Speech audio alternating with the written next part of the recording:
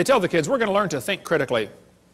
Boys and girls, do you think humans are still evolving? What kind of question is that? That's one of those questions like, uh, have you stopped beating your wife yet? wow, let me think. If I say yes, I'm admitting I did. If I say no, I'm still doing it. Did you know it's possible for the question to already have a built-in assumption? Look at that question. Do you think humans are still evolving? What's the built-in assumption? That humans evolved. Now, how's a Christian kid supposed to answer that for homework for Monday? Hmm? Well, they could answer honestly, like many scientifically competent Christians would, and say that yes, we're still evolving.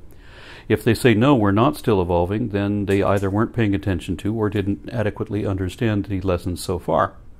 You see, being Christian doesn't necessarily mean that you're a willfully ignorant, science denying religious extremist trying to reject reality. Plenty of Christians understand and accept evolution because there are way too many ways to trace and or demonstrate that to still pretend that it isn't real or doesn't happen. I would say, teacher, this question is poorly written. It assumes evolution has happened when it has not. The question is not poorly written, but the preacher's answer to it is, because it contradicts what he already said before. I, as the teacher, would take the preacher back through the lesson plan and remind him that he's already said that he accepts microevolution and even the origin of species by natural selection. He even admitted that speciation has been observed multiple times. So he already accepts that evolution happened, both micro and macro, though he doesn't know what either of those words mean. He already accepts that every subspecies of every species in every genus evolved from a common ancestor in every family, and maybe well beyond that too. With each ancestral group continually dividing into daughter groups and further subdivided subsets. The preacher doesn't yet know how far it goes, but he already admitted that at least that much of it is known. So we should be well past the point of trying to pretend that evolution never happened at all, since he already admitted that even he knows that it did. It's like asking the question, you know, why are elephants orange? Boy, no, there's a tough one. Why are they orange anyway? Uh, they're not orange? Mm-hmm. This is not learning to think critically. This is a Soviet-style indoctrination type brainwashing question. And when the kid gets done taking this class, he's going to think he knows how to think, but he doesn't. He knows how to be told what to believe, and he never understands how it happened to him. That's not thinking critically. Such projection. This preacher just described his own position, indoctrination, where he makes unsupported assertions backed by no evidence at all on his own assumption of authority, when really he's completely ignorant, unqualified, and unable to deny the work of biologists that use evolution every day in their research. For example, evolution is foundational to understanding how pathogens mutate and evolve, but creationism adds no knowledge or understanding whatsoever to curing diseases, despite the should be illegal claims of fraudulent faith healers. Yet the preacher's congregation is just supposed to believe whatever he says simply because he said so. That's indoctrination, not thinking critically. That's why the preacher thinks he knows how to think critically, but then he does a seminar like this proving that he doesn't. If we're going to think critically, Let's first understand what that means. Every year of the last four decades, the Foundation for Critical Thinking holds an international conference wherein they defined critical thinking as the intellectually disciplined process of actively and skillfully conceptualizing, applying, analyzing, synthesizing, and or evaluating information gathered from or generated by observation, experience, reflection, reason, or communication as a guide to belief and action. That means that teachers should provide arguments and evidence of current or historic scientists, and the students should be able to stand on the shoulders of giants to analyze the data themselves and draw their own conclusions as to what is indicated.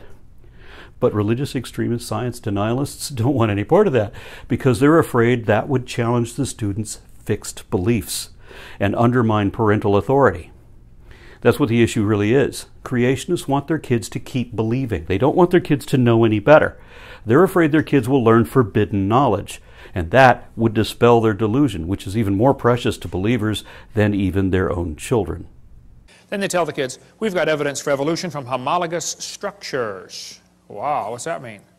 Yes, boys and girls. Did you know you have two bones in your wrist and they're called the radius and the ulna? Pretty cool.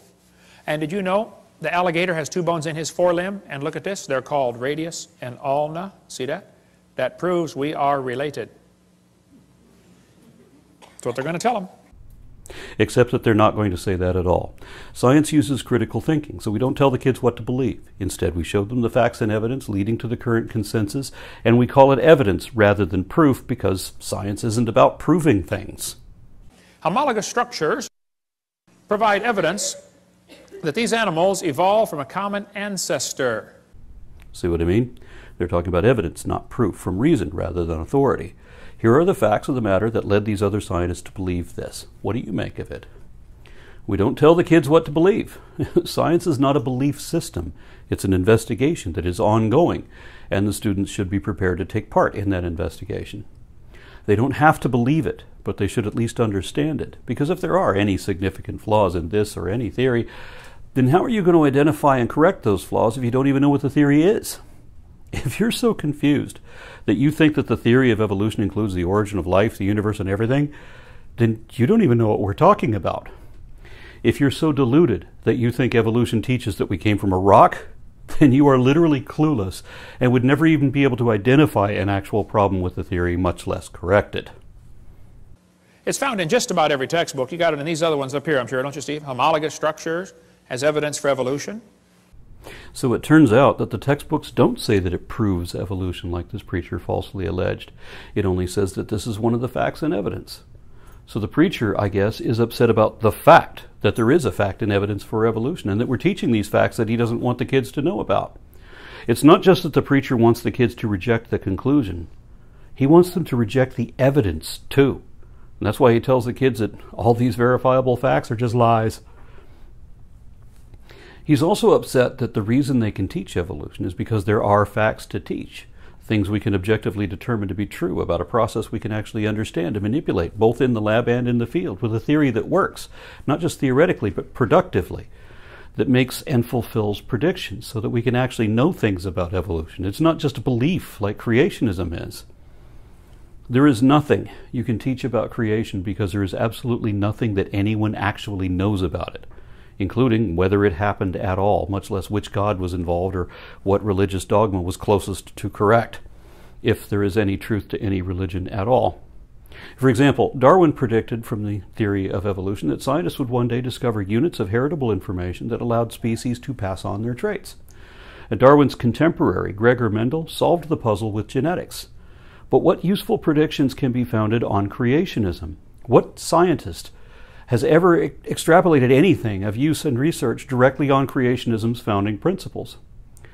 What could any scientist know and be able to use from viewing the world as having only started 10,000 years ago by the biblical God? All evidence points to a much more gradual, much older process.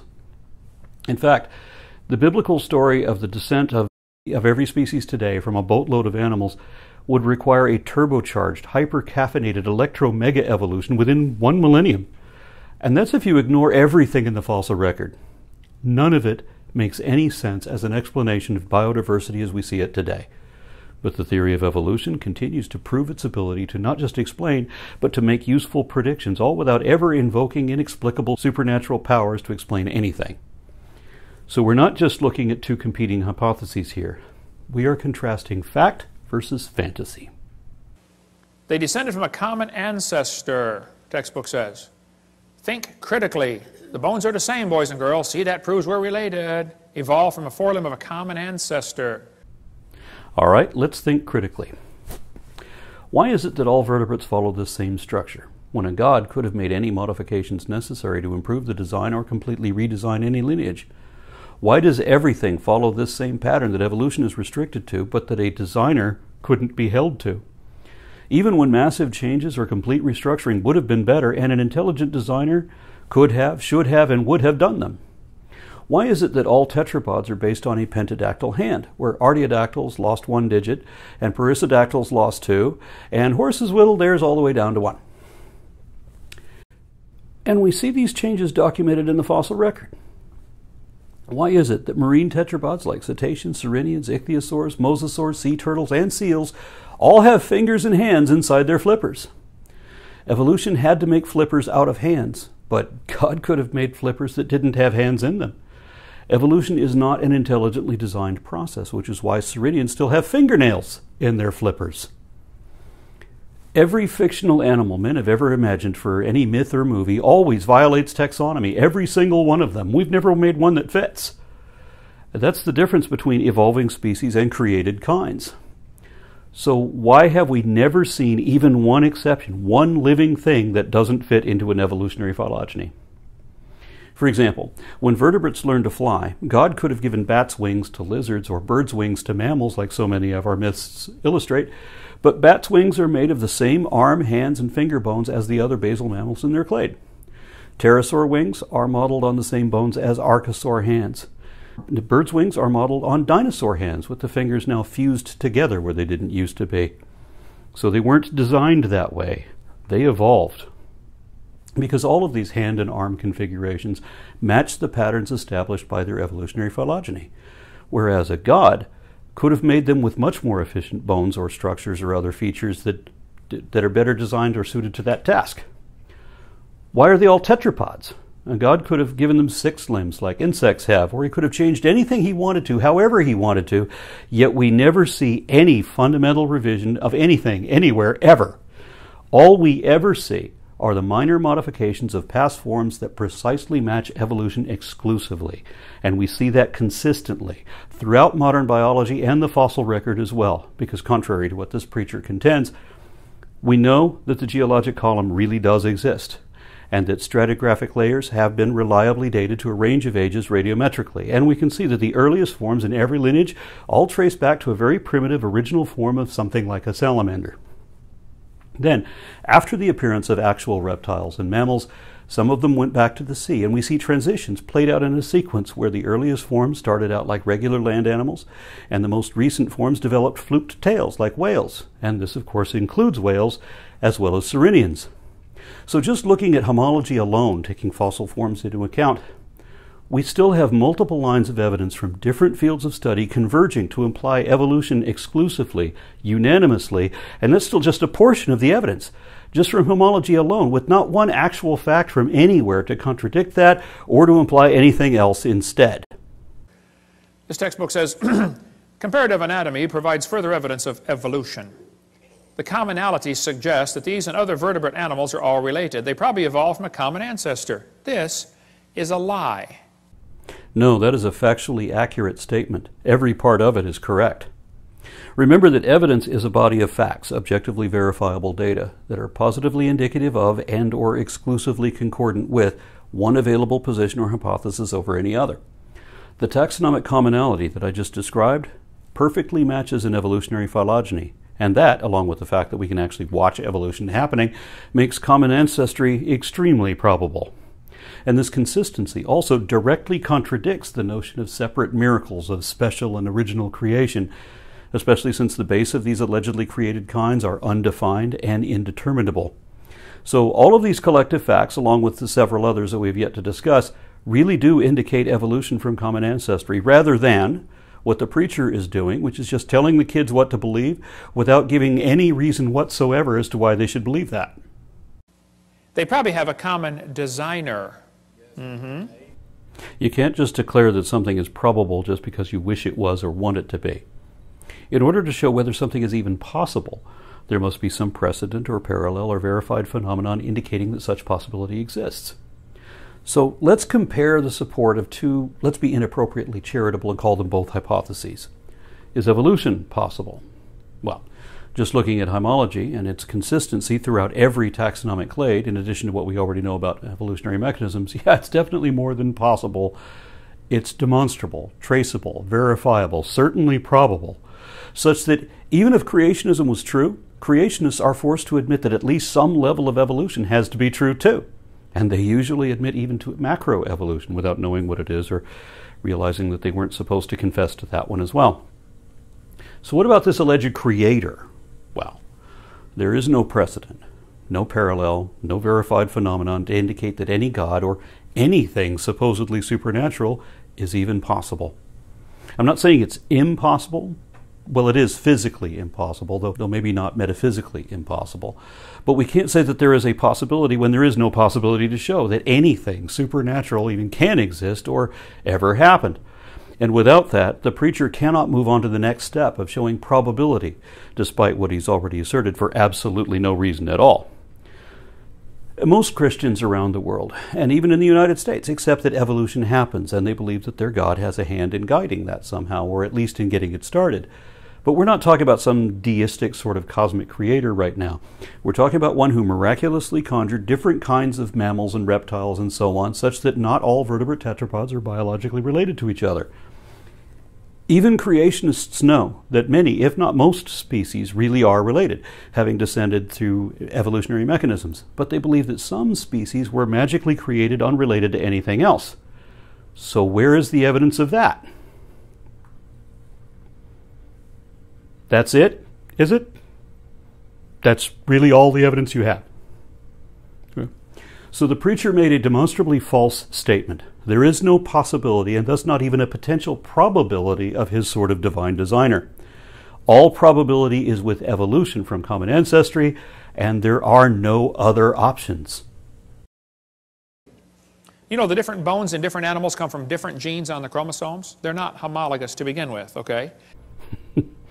I don't know what this preacher misread, misunderstood, or thought he was talking about here, but I happen to know a professor of developmental biology, so I asked him about this comment, and of course, the preacher is, at best, hopelessly confused, as he apparently always has been. And even if they were, that still wouldn't prove common ancestor. Once again, science isn't about proving things one way or another, because we don't want to unnecessarily limit our perspectives when there are so few absolutes and not that many dichotomies either. Instead, we weigh the facts to see whatever is indicated. So we have all of these lines of objective evidence for evolution. But if you try to argue for the oxymoronic concept of creation science instead, you'll find that all you have, all there is or ever was, are the highly dubious, questionable, and often obviously false claims of intracontradictory fables and folklore with nothing else outside of that to support those claims, but quite a lot to contradict each of them proves a common designer. No, it doesn't. It does not in any way imply nor even permit a common designer. A scientist would say that proof is reserved for mathematics, but if we were speaking in the context of lawyers, as this preacher often does, then proof would be an overwhelming preponderance of evidence beyond reasonable doubt. But all we have for creationism is reasonable doubt. Creationists don't have any evidence whatsoever there is not even the slightest indication that there is even a possibility to consider. Their sacred fables don't even count as hearsay, and all they cite beyond that are the logically fallacious arguments of question begging ignorance and incredulity. Yet, this preacher wants to pretend, and is actually saying, that having every fact perfectly aligned with evolution and contradicting creationism somehow proves intelligent design? Obviously not. The same designer made them all. Did you know the lug nuts from a Pontiac will fit on a Chevy? You can go out in the parking lot and try it. They will. Well, they were both made by General Motors, so yeah. But why does every animal lineage adhere to their own clade as contrasted with the other clades they compete with, feed on, or flee from, as if there were a bunch of competing teams of designers? That proves they both evolved from Honda 14 million years ago. This preacher's willful ignorance also demonstrates his fear of understanding. He is actively trying to misunderstand science in order to preserve a preferred delusion, and he is trying to convey his confusion such that his audience will be just as befuddled as he is. I don't understand evolution, and I have to protect my kids from understanding it. We will not give in to the thinkers. no, it's true many animals have a similar four-limb structure. That's a good observation. I agree. They say they must have had a common ancestor. Oh, bad conclusion. The irony is palpable, isn't it? In 1911, an American Civil War veteran wrote a number of satirical definitions into what he called the Devil's Dictionary. In that, he defined faith as belief without evidence in what is told by one who speaks without knowledge about things without parallel. That is what the preacher is demonstrating here. Though, to be fair, that's what all preachers demonstrate, to be honest.